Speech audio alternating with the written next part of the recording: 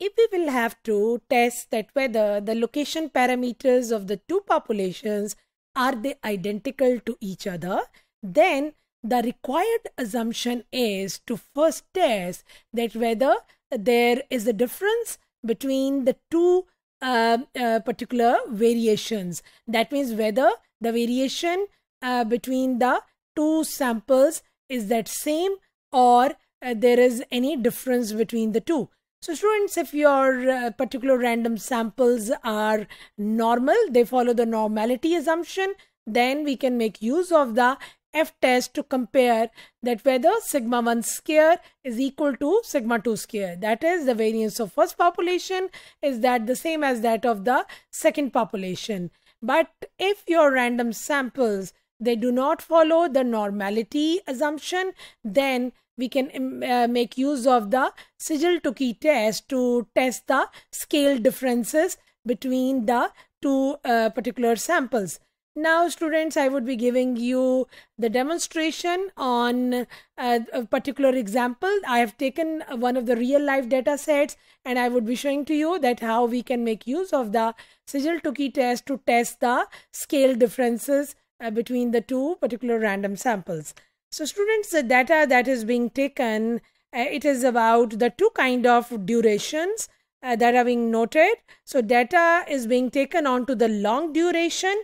uh, that is denoted as x as well as onto the short duration that is being denoted as y. For these particular variables x and y, you are required to test the hypothesis at 5% level of significance that there is more variability in the long duration sample, यानी कि X sample में variability ज़्यादा है compare to the short duration sample that is being denoted as Y अब students यहाँ पे आप देखिए लॉन्ग ड्यूरेशन और शॉर्ट ड्यूरेशन में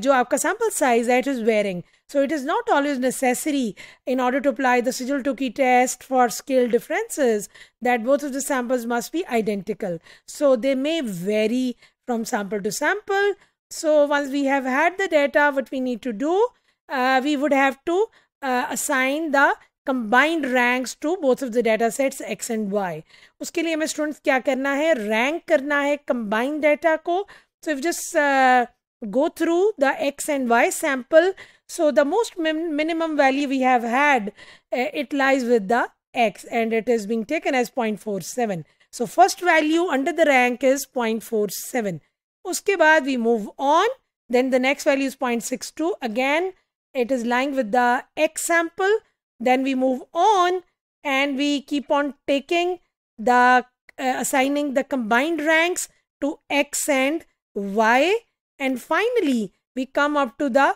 लार्जेस्ट वैल्यू 1.10 जो कि अगेन आपके एक्स सैंपल में प्रेजेंट है once we are done with the entire ranking of both of the samples x and y we would have to identify कि हमने यहाँ पे किस particular variable uh,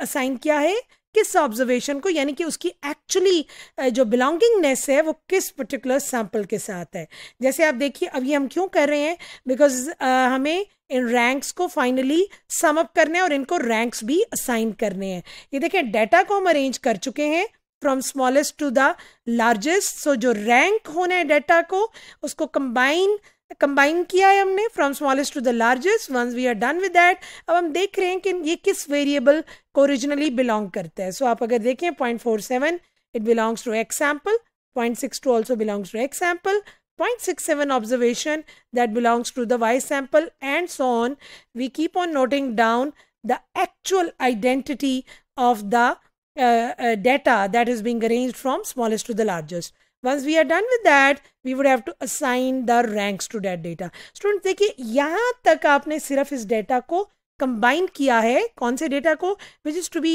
ranked letter so in the last column we are going to rank this combined data जो कि uh, एक particular अरे में आ गया है from smallest to the largest so the most minimal rank which is 1 it is to be assigned to the most smallest uh, observation that would be taken under the combined array. उसके बाद इसका जो interesting part है sizzle टुकी का that is the assignment of the ranks अब देखिए इस most smallest value को आपने वन असाइन किया। अब आप टू रैंक असाइन करेंगे स्टूडेंट्स मोस्ट लार्जेस्ट वैल्यू को। उसके बाद उससे जो सेकंड लार्जेस्ट वैल्यू है यानी उससे जो स्मॉल है उसको आपने थ्री असाइन किया। नाउ यू गो बैक और आपने फोर और फाइव असाइन किया जो सेकंड स्मॉलेस्ट और थर्ड स्मॉलेस्ट वैल्यू है। उसके बाद again you move to the bottom of the column और आपने सिक्स और सेवन नेक्स्ट uh, जो आपके पास ऑर्डर में वैल्यूज़ आ रही हैं फ्रॉम द बॉटम उनको असाइन किया। Then you go back to the top और उनको आपने असाइन किया एट नाइन उसके बाद टेन और इलेवन असाइन किया। then the next values that are being followed into that order उसके बाद 12 and 13 नीचे से आप देखिए 14 and 15 और फिर top, से आप स्टार्ट करें 16 and 17 so this is the interesting part of the assignment of the ranks under Siegel-Tukey test. once you have understood the concept of assigning the ranks, we would have to sum up the ranks for X and Y separately. So students, the procedure that you will follow under Siegel Tukey test is अगर आप अपनी statement को note down करें तो आपकी statement में you would have to test under alternative statement that variation in the X sample is more than that of the variation in the y sample and the h naught would be then sigma square x less than or equal to sigma square of y. Under step 2 you have alpha which is 5%.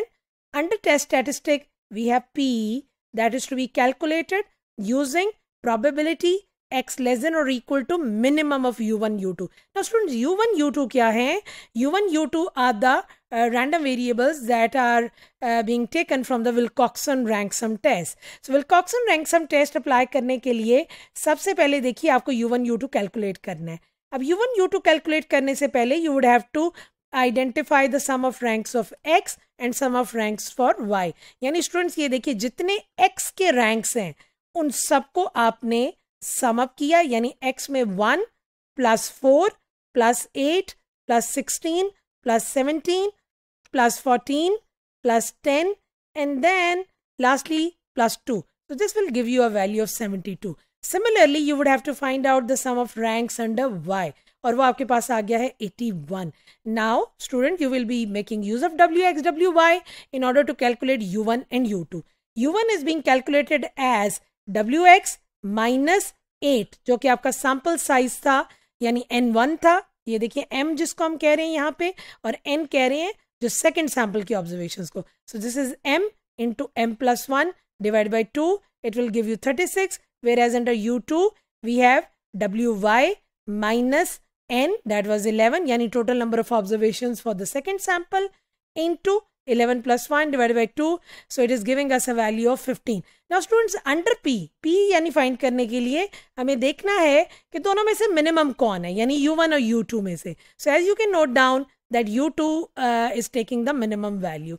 so u value को आपने sign किया minimum of u1 u2 that is 15 under the critical region we would have to reject our h naught if our u that is a minimum of u1 u2 would be greater than W one minus alpha अब students ये हमने क्यों किया if you remember हमारा जो alternative hypothesis था that was taking a greater then sign so here we would have that greater than sign where w1 minus alpha is to be calculated using n1 uh, uh, sample size for the first uh, variable n2 sample size for the second variable and w alpha that is to be calculated using critical values for the Wilcoxon Mann Whitney U test table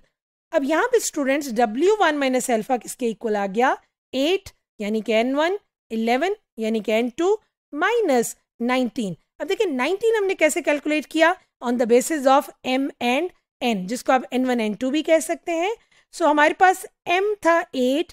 whereas our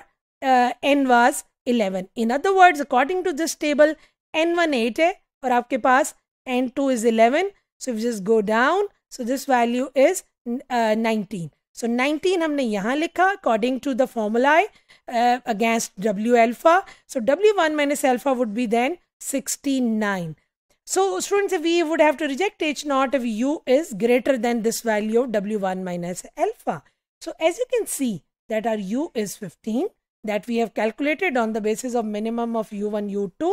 it is very much less than our w1 minus alpha that is 69 therefore h naught will be accepted. And we may conclude that that the variance of long duration data which was the x sample is less than or equal to that of the short duration data uh, which belongs to the y sample